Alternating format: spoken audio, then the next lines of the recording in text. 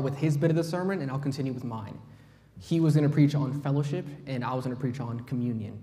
And so I, am going to go with fellowship first, because I want to emphasize how fellowship, um, if we don't have fellowship with Christ, we cannot have communion with each other. First, it must be Christ, and then it all dribbles down into us and everything else around us. So, to begin, can we all turn to 1 John chapter 5, verses 14 and 15?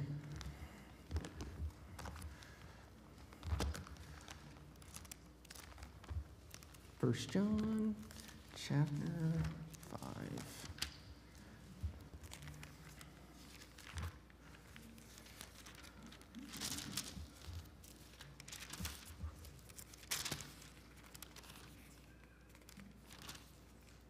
Here we go. Okay. Are we there? Okay, awesome.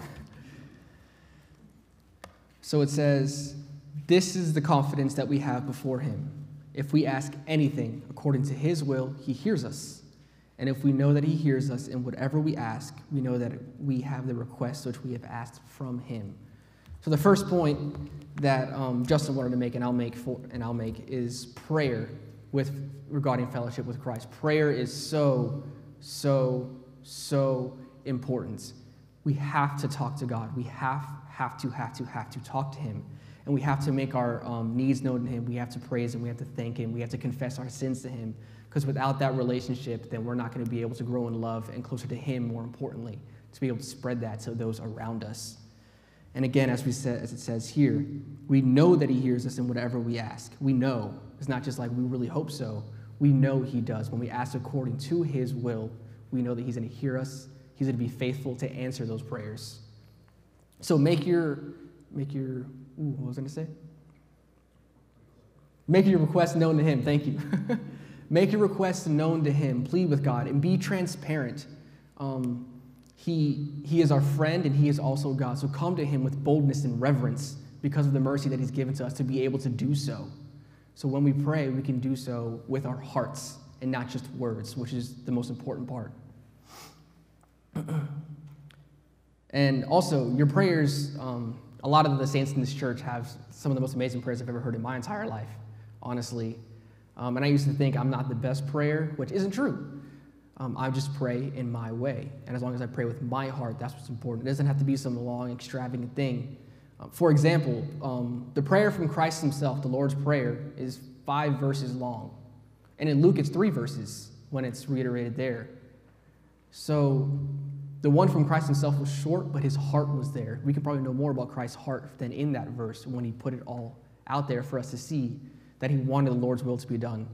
And or if you're like David in the Psalms when he prays for like 30 verses, it's okay as long as your heart is there. The important thing is that your heart is there and that you want to glorify God through that prayer and make your request known to Him and thank Him and praise Him and confess always. And the one thing that we usually teach our youth is the ACTS prayer model or CATS, however you want to figure out that acronym, but it's adoration, confession, thanksgiving, supplication. We learned that from Pastor Steve in this church. Um, he helps us a lot with that in loving God and confessing our sins to Him so that we may thank Him and make our needs known to Him. So, moral story is pray with your heart and everything you have and be transparent. Let him know you. Let the relationship be open. Next, um, fellowship is an action. It's not just um, it's not just coming here and praising God one day or coming to youth group and praising God the other day or whatever small groups we have. Fellowship has to be an action. It has to be a very intentional thing that we do with Christ. We can't just sit around and, and uh, excuse me, let me get words together before I start stuttering.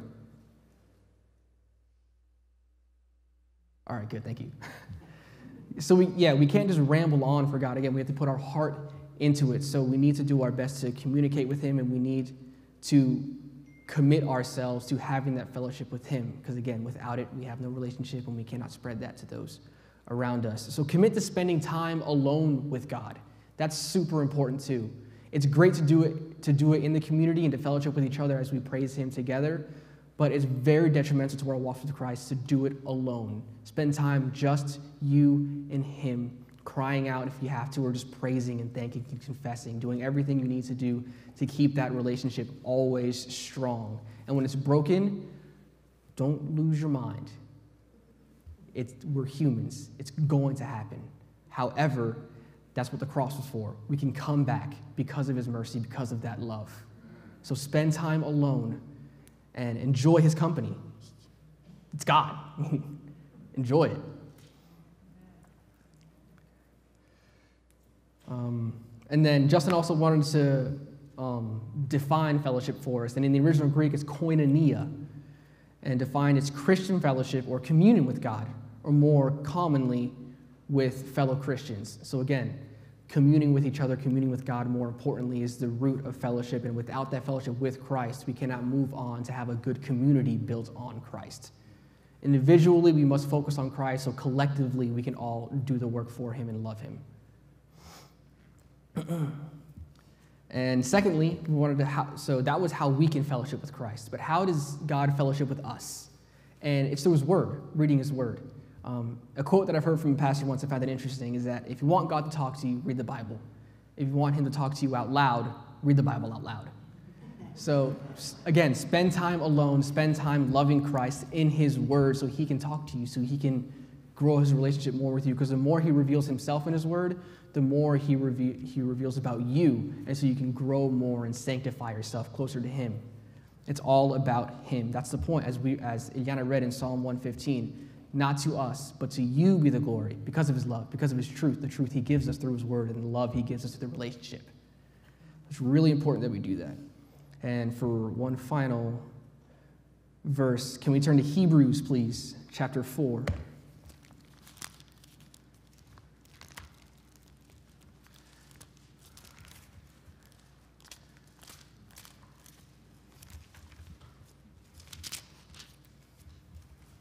For Hebrews chapter 4, verse 12.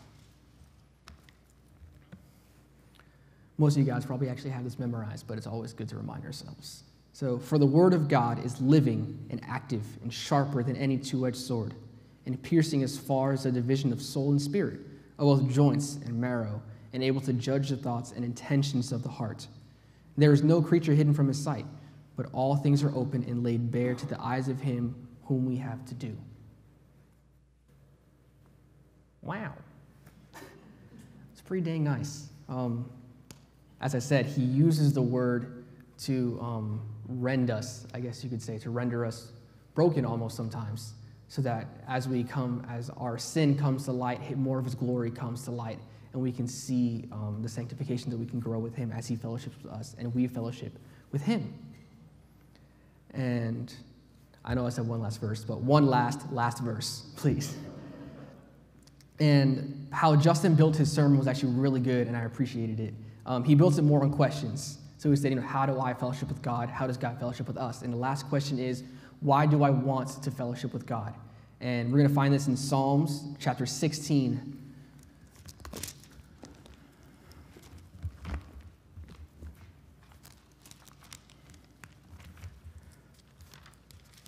Psalm chapter 16, verse 11.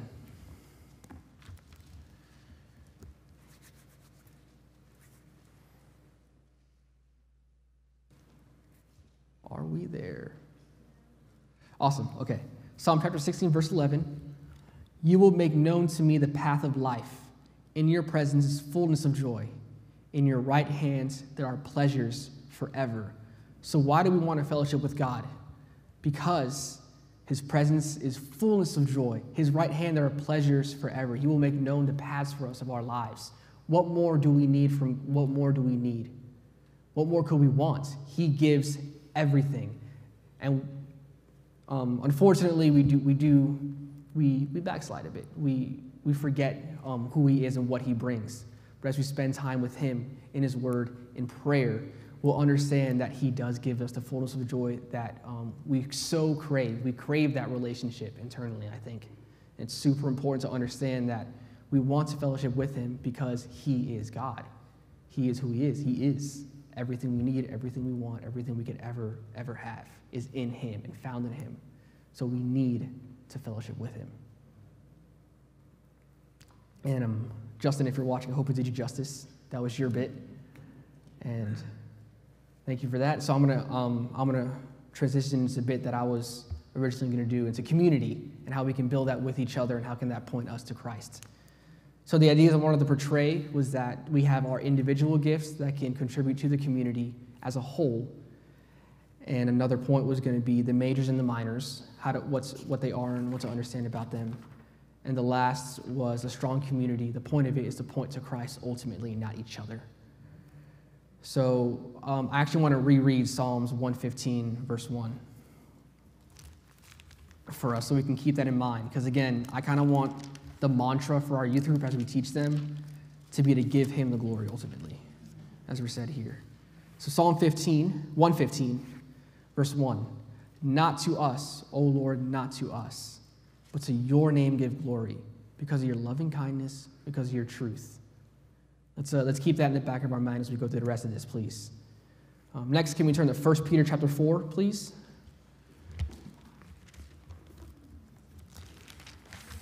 1 Peter chapter 4. It's going to be verses 10 and 11.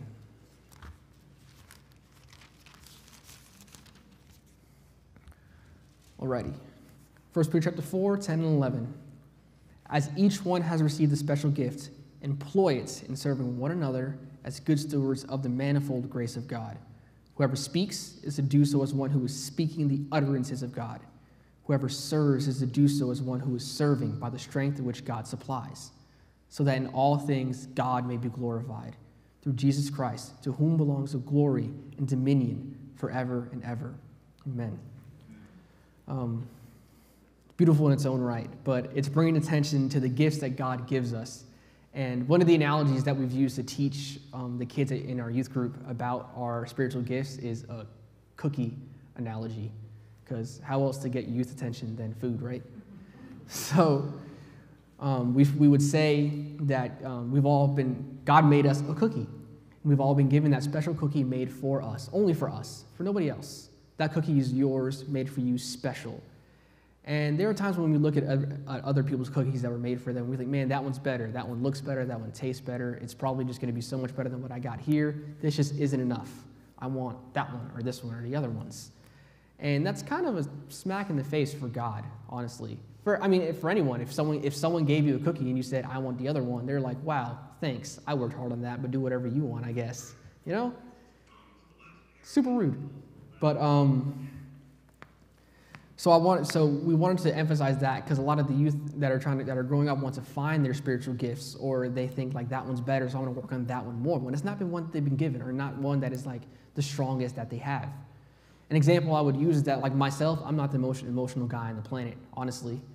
Um, I'm not super like empathetic, but I, I, like to think of myself as a voice of reason sometimes for people, and I, that, and that's a spiritual that's a spiritual gift. However, Mr. Jeff, I would say, errs on the more emotional side. He he helps a lot with people to understand their emotions, what's going on with them, and to how to like and point them to Christ through those emotions. I'm not the best at that, to be completely honest, and that's okay because that can work complementary, or the right word to use? You guys know what I'm saying. But that can work, that can work together. Um, I don't have to be Jeff, and Jeff doesn't have to be me. He shouldn't. He's Jeff. I'm Miguel. We do, we do the roles that God had given us to do. And that's really, really important to understand so we don't have, for in the community, we don't have like 30 people doing one job that seems really, really good and like two or three people that are doing another one that's just as important for the church in the community. So um, the point is to work hard to find your spiritual gift, read, read God's word, seek counsel with those around you as, they, as you may not be the best um, observer of, of, yourself, I guess you could say. Um, ask your friends and elders and everyone around you, be like, hey, what am I good at? How, how can I grow? What are things that I'm good at so I can serve the community in my churches and I can serve those around me as well, even more so the way God intended me to do so? Because that's the perfect way to do it. Um, and ultimately, it's to give God glory, to reiterate. Um, everything, all the gifts that God has given us is to bring Him glory and to further His kingdom. So we need to remember that as well. You can't further God's kingdom by doing, you can't further God's kingdom doing something you weren't made to do. It's not going to work. We are all in one body. If I'm an elbow joint, I can't do the job of a shoulder joint even though I really want to. It's not going to work. So take pride in the gifts you've been given and um, take joy in them because God made you that way. Um, yes, awesome. And I actually wanted to bring up um, a couple people in the youth group who actually have phenomenal spiritual gifts. And Cassidy, for one, um, happy birthday, by the way, today. Um, and also happy birthday to, to Jahida, my cousin, whoever she is. But aside from that, Cassidy is one of the most like service-hearted people that I've ever met. She serves with a smile on her face and with just joy all around. She loves nothing more than to just serve and love her youth group and even more so those around her. It's amazing to see and it teaches me even more so to understand that service is about the heart. It's about love. It's not just about doing it because you have to. It's doing it because you want to and you want to glorify God through that. Another person is uh, Samson. Um, unfortunately, we haven't seen him in a little while because um, he has like health risks because of COVID. But uh, we think about you, man. If you're watching, I hope you are. And he has, he's a very loving guy. And anyone he, ta- anyone he talks to, it's this immediate friendship. It doesn't matter if he's known you for a second or 30 years, you're friends. So deal with that. He's going to love you forever, which is amazing to just show unconditional love all the time to whoever it is that needs it. And he does it very well. So those are, those are two people that have phenomenal spiritual gifts and they use them well at a, at a young age too, which is astounding. So pretty dang good youth group we have, guys. So I want to transition to Romans chapter 15, please. We're going to talk about our majors and minors. Romans chapter 15, verses 5 through 7.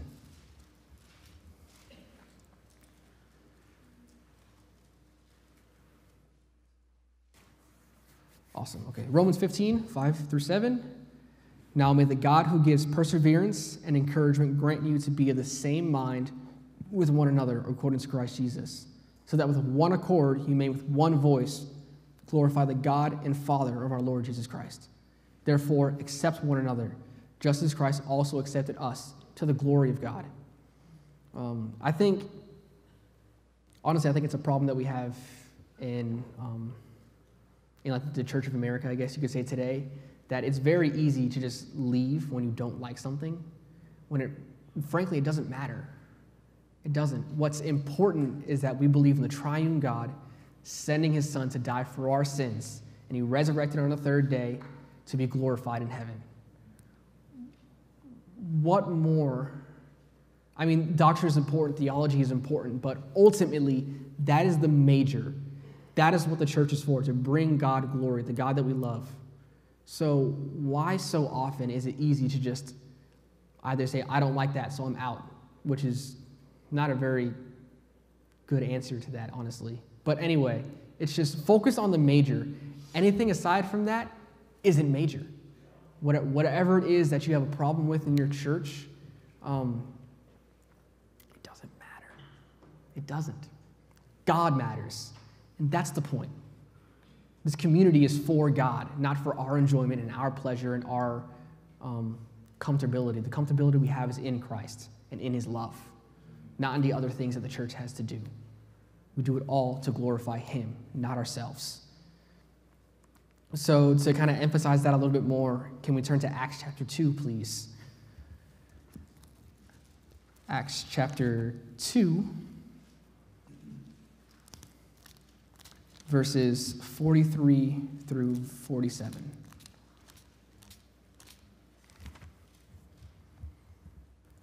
Okay, Acts 2 43 to 47. Everyone kept feeling a sense of awe, and many wonders and signs were taking place through the apostles.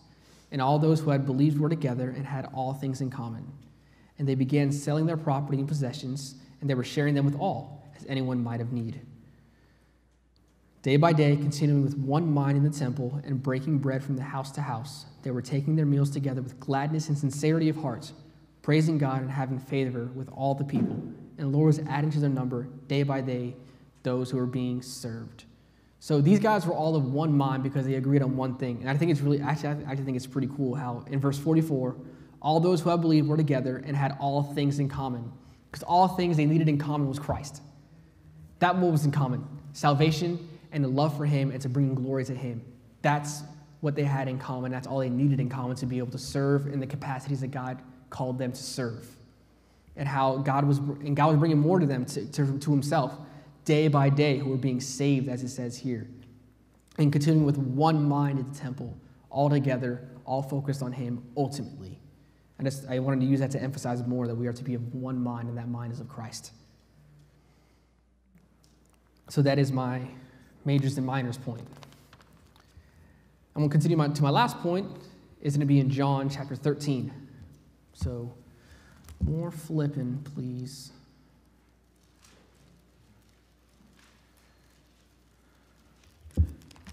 John chapter 13, verses 34 and 35.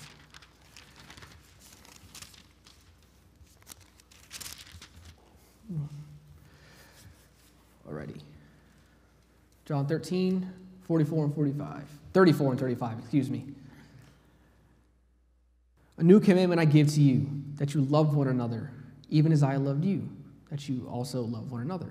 By this, all men will know that you are my disciples, if you have love for one another.